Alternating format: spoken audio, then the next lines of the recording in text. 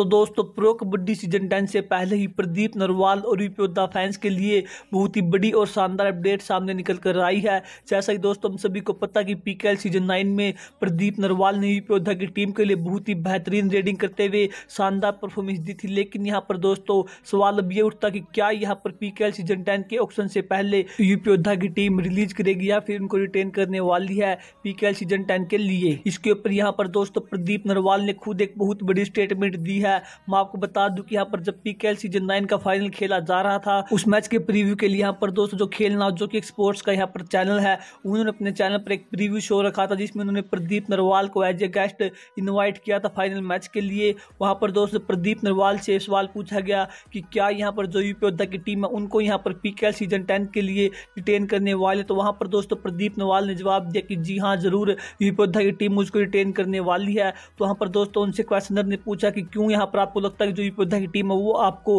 Release नहीं करेगी PKL season ten के लिए। तो वहाँ पर प्रदीप नरवाल ने कहा कि जो यूपी की टीम के मैनेजमेंट के फ़ोन कॉल्स है वो यहाँ पर उनको एक साल पहले ही आ गए हैं कि जो पीकेएल सीज़न टेन के ऑप्शन है उनमें यहाँ पर उनको वो रिटेन नहीं करने वाली है। क्या कहा यहाँ पर दोस्तों स्टेटमेंट में प्रदीप नरवाल ने? आप यहाँ पर खुद ही सुन लीजिए।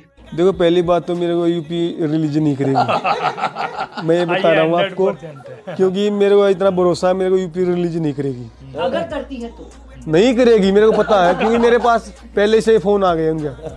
हाँ अब मतलब एक साल बच्चा हुआ अभी से मेरे पास बात हो गई मेरी कि रिलीज़ नहीं कर पाएँगे हम तेरे को। तो ये थी यहाँ पर दोस्तों स्टेटमेंट जो प्रदीप नरवाल ने खेल नाउ स्पोर्ट्स यूट्यूब चैनल को दी थी। आप यहाँ पर मैं कमेंट बॉक्स में कमेंट के बताए। आप प्रदीप नरवाल के एक बार फिर से सीज़न टेन यूपी की टीम की जर्सी में खेलते हुए देखने के लिए कितनी एक्साइटमेंट है। और दोस्तों अगर आपको हमारी अपडेट पसंद आई है तो वीडियो को लाइक करें, शेयर करें अपने दोस्तों के साथ और साथ हमारे चैनल को सब्सक्राइब करके बेल आइकन को दबा लें कबड्डी से जुड़ी ऐसी शानदार अपडेट पाने के लिए धन्यवाद दोस्तों वीडियो को देखने के लिए।